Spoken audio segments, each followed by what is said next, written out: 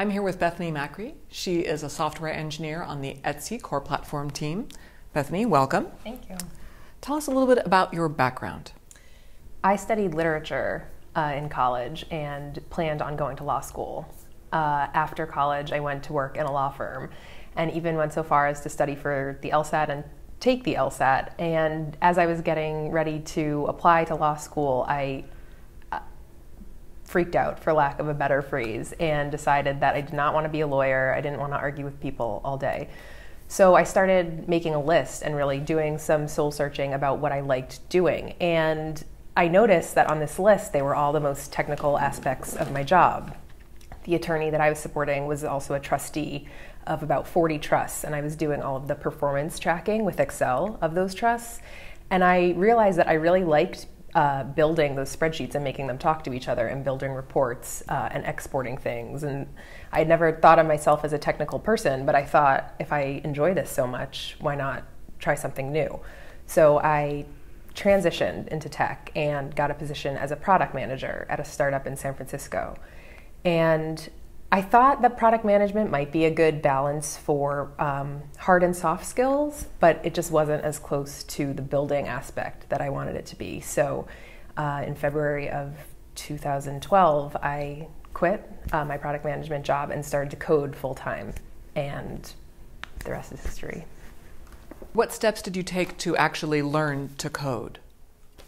My boyfriend at the time was a software engineer, and he was completely supportive of me learning how to code and installed Python on my computer.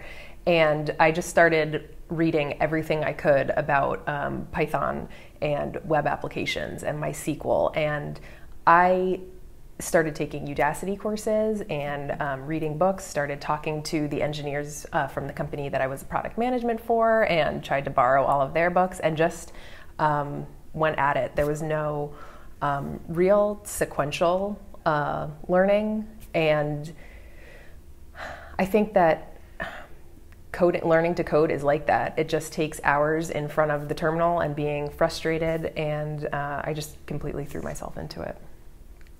Did you notice any kind of difference in the community, the way you were treated uh, being a product manager versus being a coder?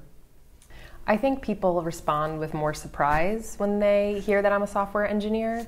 Um, I I usually get something to the effect of "Really," um, and even people who uh, you know I went to high school with or college with, who I bump into, kind of say, "How did you get into that?" And uh, as a product manager, that wasn't asked of me at all. In terms of um, my team and how I am treated um, by each company uh, in each respective role as a software engineer, I'm always included in the discussion. And as a product manager, even if it was my product and my timeline, um, I wasn't always at the table. And as a software engineer, I'm never excluded from any discussions.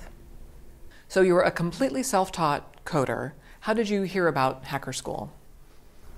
I was at the time. Um, teaching myself how to program and I was working out of a women's co-working space in San Francisco because after about a month and a half I realized that if I try to work from home, I am going to go completely stir crazy. So I was taking a break at this co-working space and I was on Hacker News and I saw the press release and I had never heard of Hacker School before, but of course I loved Etsy because I was a, a customer. And uh, I think I read it two or three times and just almost started crying and just thought this is the most fortuitous timing.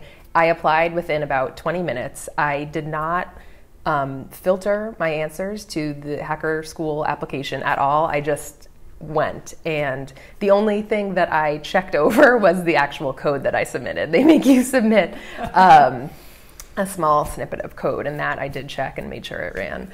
Um, and from there, I checked my email every morning, like a kid at Christmas, and just waited for a response. And when I finally got it, got the first interview, and then got the second interview, I I remember closing my laptop after Skyping with um, David after the second interview, and I just kind of like squealed and called my mom and said, "Now I have to find an apartment for the summer."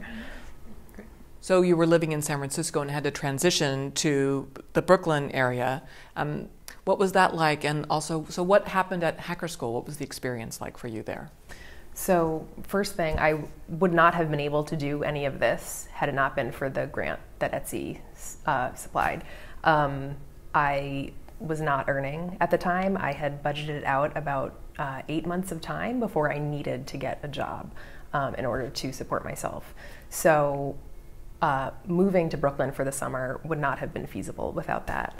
Um, the experience of Hacker School was absolutely amazing. It was the first time that they had um, a bunch of students. There were about 50 of us. Uh, we were almost 50% female. And I never felt like I couldn't ask a question or that um, even as one of the more or, or the most inexperienced person there, I never felt embarrassed or shy or like um, people would ostracize me or laugh for asking questions. And that is the, I'm so grateful for that experience. So, did Hacker School have a particular curriculum that everyone followed? Were there activities that you did together as students or separately in groups? Tell us more about that. So I was just interested in making things work. That is what I like doing. That's what I get a high from. Um, so I think I would be happy doing a lot of technical things uh, as long as I was getting that feedback and satisfaction of making things work. But because I, you know, was not earning and was making this huge career change, I had to make myself marketable, and for that reason, I decided to focus on web development. At Hacker School, David, in uh, the first day, uh, in his talk on the first day told us do not make web applications. It's a waste of your time, especially if you've built them before. I had not made or shipped a web application, but I had been doing web application type things. I'd been scraping sites, I'd been using Django, I'd been using Python. So I went home and thought, how can I better use my time this summer? And I started writing bash scripts.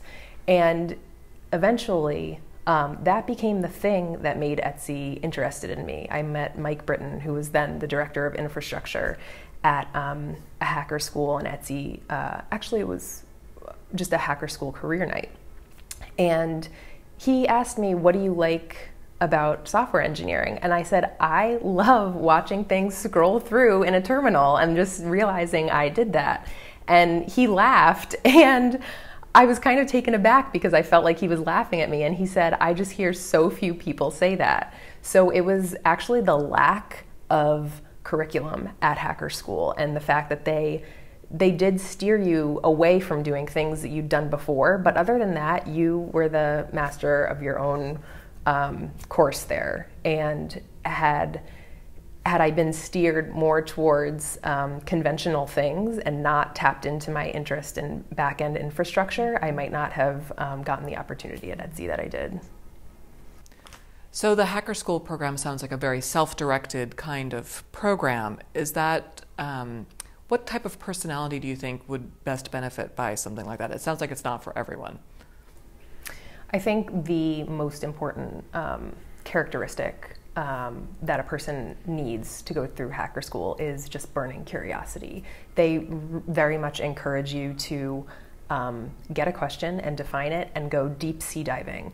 Um, I think that if you are uh, incredibly inexperienced, as in have never coded before, um, one, you won't know if you like it, and so they really seek out people who know that they love programming. And I don't think that um, at that stage uh, you'd be best served by Hacker School because you would just spend a lot of time being frustrated. So I think a little bit of ramp up time is is necessary. Um, another thing is not being embarrassed to ask questions um, because there are people of you know all different experience levels and you will only benefit from the more experienced engineers if you have no pride attached or ego attached to the questions that you have so Etsy has talked a lot lately about how they've changed their hiring process recently. So tell us what it was like for you and if you also interviewed with other companies, how was that different from the Etsy hiring process? One thing that really stuck out was that Etsy had been very explicit about how uh, how much they wanted female engineers to be working for them.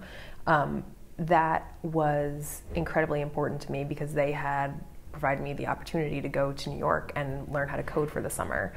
Um, but the thing that really stuck out to me was that they listened. Uh, Marc Hedlund and Mike Brittain, uh, when I was talking to them at the career night, really listened to what my interests were. And when I was brought into an interview, they had me uh, meet Jason Wong and John Goulah, who were the um, managers of the core platform and DevTools teams. Those two teams are doing exactly the kind of work that I had expressed to Mike and Marc that I wanted to do. And the fact that they had said, you know, okay, we'll we'll kind of work with you and we'll um, you know find work that interests you was all that I needed. So, do you have any advice for women or really anyone interested in making a career transition into tech? I would say if you are passionate about it and you think you can do it, do it. There, you do not have to be a genius to get into this field. Um, you don't have to fake anything. You don't have to be nerdy. Um, there are a lot of options for you if you want to be a developer or in operations or in IT or something like that. You don't have to fit one mold. So if you think that you have an interest in this, I would say just do it and commit to it and, and know that it's possible. So the Etsy process uh, for hiring does sound like it's a bit unique. So do you have any thoughts about how other companies should change the way that they hire? I think if companies are looking to hire women, they should make that explicit, um, either formally in writing or to the candidate personally. Um, I know that for some candidates, uh, it means a lot to them to have a female on the interview panel. That's not something that um, I felt um, that I needed to feel comfortable. What I needed was that they listened to what I wanted to do and they made it clear that I could ask questions and the fact that I was more inexperienced than the others on the team was not going to you know, deter me or um, frustrate my teammates. So I think making it clear that this is an environment where you're encouraged to ask for help and it, you're encouraged to say, I don't know how to do this, um, is incredibly important. Well, Bethany, thank you very much. And um, here's to a great career in tech.